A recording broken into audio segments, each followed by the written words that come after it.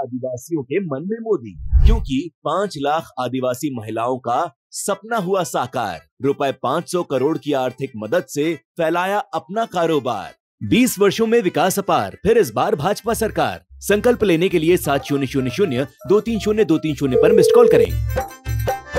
खटीमा में एनएसयूआई ने अखिल भारतीय विद्यार्थी परिषद को शिकस्त दी और अध्यक्ष पद पर कब्जा किया। एनएसयूआई के रोहित गंगवार ने अध्यक्ष का चुनाव जीता है। जनपद ऊधम सिंह नगर के खटीमा महाविद्यालय के छात्र संघ चुनाव में एनएसयूआई ने एबीवीपी छात्र संगठन को दे अध्यक्ष पद पर अपना कब्जा जमाया। रोहित गंगवार ने एबीवीपी के अशरफी लाल को तीन सौ नवासी मतों के अंतर से मात देकर अध्यक्ष पद पर जीत हासिल की, जबकि उपाध्यक्ष पद पर एबीवीपी के शुभम पटवा ने कब्जा किया। वहीं सचिव पद पर निर्दलीय प्रत्याशी अर्पित कॉलोनी, कोषाध्यक्ष पद पर एनएसयूआई के परवेज अख्तर विजयी हुए।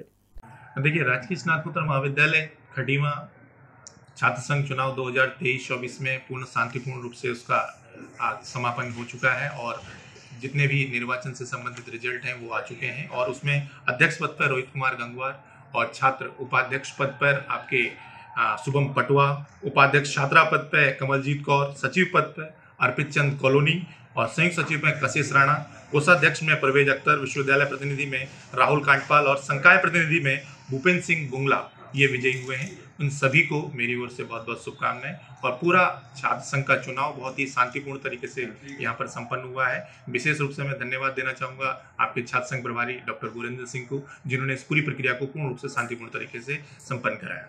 अच्छी है ना?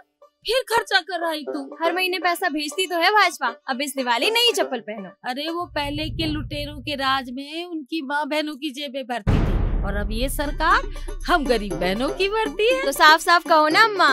फिर इस बार भाजपा सरकार। फिर इस बार भाजपा सरकार। आप देख रहे हैं दखल न्यूज़।